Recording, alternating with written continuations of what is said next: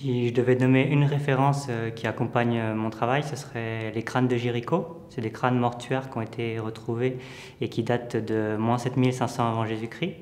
J'essaye toujours euh, d'étirer le temps auquel se rapportent mes sculptures et de ne pas rester bloqué dans un ici et maintenant, mais plutôt que les sculptures fassent des allers-retours entre un passé lointain et aujourd'hui, et passer possiblement au travers de l'histoire de l'art également.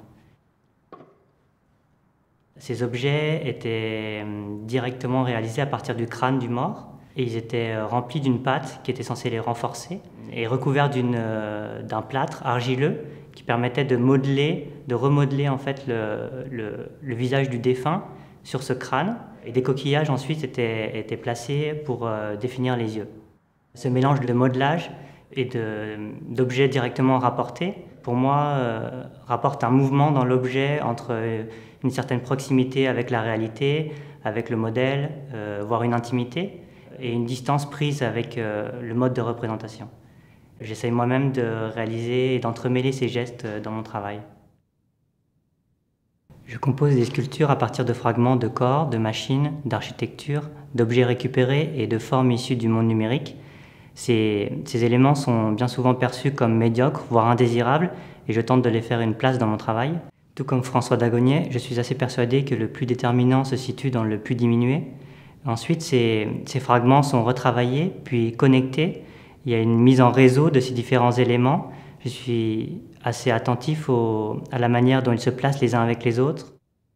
Les espaces que je construis dans les expositions paraissent souvent dans un temps suspendu, dans une mise en veille qui met en exergue des notions comme le retrait, l'ennui ou plus encore la lenteur, en contrepoids d'une société qui nous dicte toujours un rythme plus violent et au profit d'une production à outrance.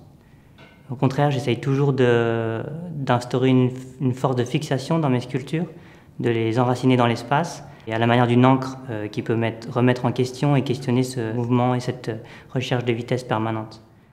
Dans cet ordre, euh, dans mes sculptures euh, actuelles, j'essaye de modifier les objets et de les, de les lester de plomb, de bronze ou de cire et leurs poids deviennent de plus en plus importants. Deux séries que je travaille actuellement dans l'atelier se basent de manière plus concrète sur le corps humain. La première série représente en volume des corps photographiés.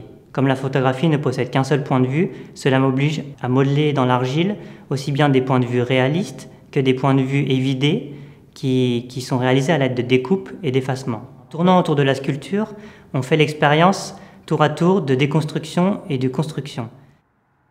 Je viens tout juste de débuter une recherche de bas-reliefs qui prendront appui sur des vues anatomiques de la bouche.